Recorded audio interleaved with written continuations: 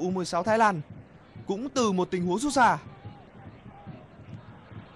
Tiếp tục một pha xuống biên nữa các bạn.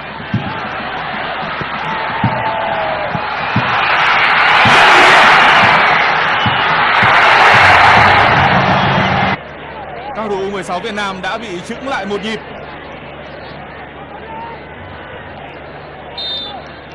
Vận may đã cứu nguy cho Huỳnh Hữu Tuấn. Cùng tuổi ở khu vực Đông Nam Á là thể hình và tốc độ. Lên bóng cho đội Việt Nam. Một pha phối hợp tấn công đơn giản của U16 Việt Nam. Khắc Khiêm định đưa bóng qua hai chân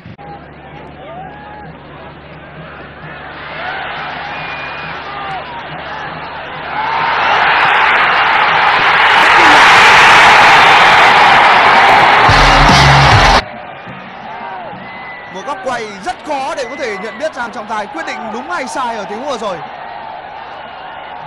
Bẫy việt vị của Việt Cương. Đường truyền khá hay. Khắc Khiêm. Vẫn là Khiêm.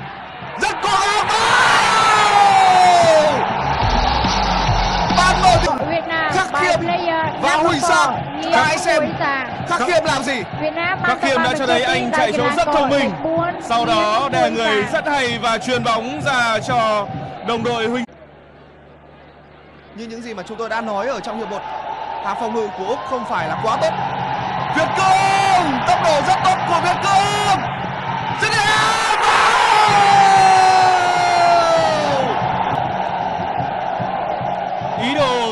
viên Đinh Thế Nam đang được các học trò của ông vận hành một kỹ rất trơn tru và vô cùng hiệu quả. Việt Cường đã châm ngòi cho bàn thắng mở tỷ số và bây giờ anh là người kết thúc để theo kiểu 50-50. Cao thủ của huấn luyện viên Đinh Thế Nam đều đã giành được phần thắng. Nguy hiểm. một pha bóng lăn xả không phải đó là pha cắt bóng của u ngọc tiến và có vẻ như u ngọc Tuấn đối đầu với Sörlot. suýt chút nữa thì vừa đã phản hóa được và đã đền bù trở nên hấp dẫn hơn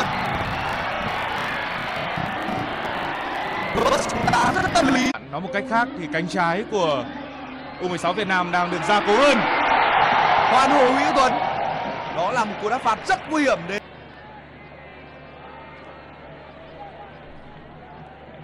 Đường truyền của Hữu Thắng. Khắc Khiêm! À! Bóng cực kỳ hiện đại. Một tiền đạo, một tiền đạo có khả năng chấp thời cơ cực kỳ tốt. Và Khắc Khiêm với một cú đá bằng chân trái đã khiến cho các bạn thì người ta bắt đầu nhắc tới những cái tên như là chẳng là Khắc Khiêm. Cơ hội dành cho U16 Australia. Và bóng hiếm hời mà hàng phòng ngự của U16 Việt Nam ít hơn về số lượng so với đối phương. Chúng ta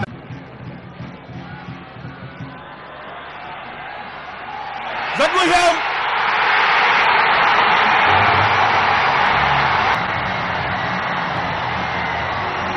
có một điều gì đó rất khó hiểu với những đội bóng trẻ của bóng đá Việt Nam, đó là cứ mỗi khi gần với Vinh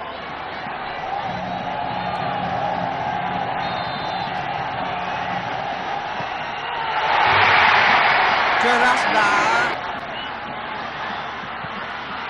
thành công. Vũ Ngọc Tiến đã đá rất chính xác. Tuy nhiên quả đá vừa rồi cũng khiến cho rất nhiều người phải thót tim.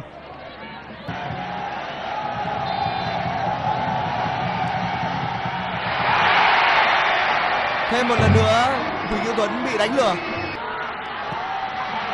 Rất chính xác. Một cái thở phào dành cho cú đá Tiếp tục là quả đá thành công của đội bạn.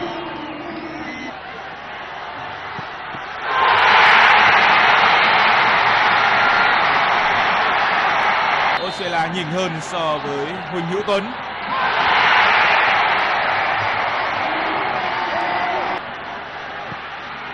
rất chính xác, Hữu Sang đã lừa được thủ thành đối phương bây giờ thì mọi thứ sẽ phục